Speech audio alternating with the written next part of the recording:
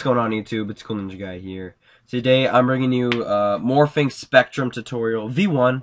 Um, what I'm doing in this tutorial is transforming a uh, basically a circle or a rectangle, whatever shape you want, into a logo or any other shape you want. So like say for example, I want to turn a circle into a troll face. So what I'm going to do is uh, I have this composition right now. All I have is a direct remix of uh, Alive by Krewella, which is a very good remix of a very good song. And I have my background, so I'm going to put the uh, audio on top. These are just my background images, ignore them. And what we're going to do now is hit Control Y and make a solid, name this reference circle. Circle. Make 600 by 600 is a good size because I'm running 1280 by 720. And hit OK. Boom. Now you're going to make a new solid and name this Spectrum. Spectrum. And make this one comp size. Okay. And what, then what you want to do, uh, turn off these uh, um, layers and then drag in your picture or logo or whatever you're doing. I'm just going to delete this. and Which I'm going to do a troll face in my case, which is a PNG. I prefer PNGs because it's easier to uh, uh, mask out when there is no background. Um, so drag that in. It's obviously big. Scale this down what size you want. So 25 is what I'm going to do. And I'm going to pre-compose this. Uh, name it. Move, move out attributes. And guys, sorry if I sound nasally. Um, I think I'm getting a cold or it's allergies, but it's right before exams. So it sucks. But, uh, that's fine. I gotta record this tutorial for you guys. It's a very sick effect. Um, so what we're going to do now is you have this uh, troll face, and what you're going to do now is turn that off and turn on your reference circle. And uh, go to your ellipse tool, which should be up here. Click ellipse tool, and then double click it. And you'll make an ellipse, except that was on the wrong comp, or wrong layer. So click on your reference circle, double click that circle, and it will make a uh, four points and a circle.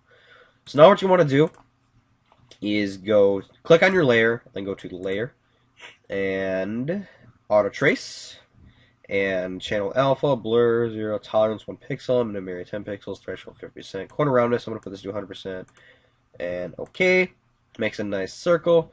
Um, so now what you're going to do is click on your masks and delete mask 1. That was just the four, first basic circle. Click the second mask, set it to add or subtract or whatever, and you're good there. So you can turn that off for now, then click on your troll face or whatever you're using.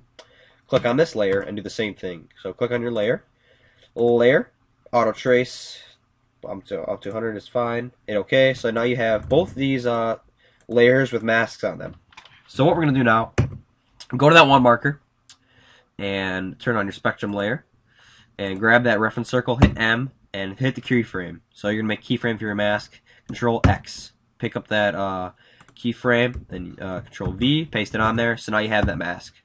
Then go to your 2 marker and click control face and uh, go to the mask click the keyframe or the clock to keyframe it control X to cut it and click that spectrum again control V so what that does is you have a circle right here and then whoa man it's troll face now that's freaking awesome uh, but that's just the basics here. What I want to do is easy ease these. Uh, you can hit F9, but that pauses my recording. So keyframe assistant, easy ease, and it looks smoother of a transition.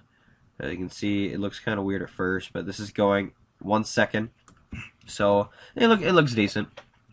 What you're gonna do now is uh, drag on your audio spectrum. So I already have it searched up, but search in your effects and presets, drag that on your spectrum layer, and there you go. You can see the spectrum right there across the troll uh, the troll face. So um, what you do now, go to path and click mask one. So what it does is it follows that path no matter what. So if I turn off the mask, you'll see there's the circle. And it's like, whoa, dog, I'm a troll face now. Yeah, woo. It morphs into it. So uh, what I want to do here is you can see it's kind of light. Take the frequency bands, boost this up. I'm going to boost it up to 200. The circle looks kind of sketchy. Uh, and that's because we did the fine, uh, the fine, um, uh, what's it called? Geez. Fine edges. Um, if you're using a logo, say like a phase logo or something, you know, that'll have cleaner edges, and you can mask it out yourself if you really want. Uh, but you need a lot of points for this, so that otherwise, if you have four points in the circle and it all of a sudden goes to the troll phase, you lose a lot of points, and it looks bad. So um, what you can do is actually bump up some other stuff like the thickness, turn it up to 5, make it look a little thicker, softness, eh, 25%. Play with these values. If you don't know how to use an audio spectrum and customize it to the best of your liking, watch my tutorial on that. I did it ages ago. Um, and then click audio layer, and click the song. So there you go, there's a song. And you think, yeah, I'm done, woo. But uh, all you gotta do is change the side to side B, which will be the outside of the troll face and the outside of the circle. So there's that. That's really it for the tutorial, guys. What I'm going to do, just for, for shits and giggles, is fade this in. So um, take this um, troll face, go to that 2 marker, put the opacity 100%, and easy ease that thing, because easy easing keyframes always makes it look better. Go to 1, drag that down to 0. Boom. So now what that does is when it's all circly, then it's like, boop, troll face time yeah, so that's it for the tutorial, guys. Uh, you can play around the settings more, like changing colors and such. Um, if you're done with this and you don't really want that troll face anymore, um, or say the reference circle is completely pointless now, hence the name reference, so just delete that layer. Don't need it anymore. Um, and that's it. So you have this nice spectrum, and it morphs into something else, which I find really cool, and I really enjoyed it, uh, just playing around with these uh, settings.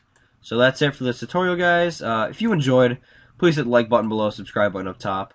Helps me out a ton. I don't even know the subscribe button's up top anymore, but I don't care. I've been saying that so long. Um, any subscribes help out a ton. And yeah, so thank you guys for watching once again. My name's Kool Ninja Guy, and I'm out. See you later.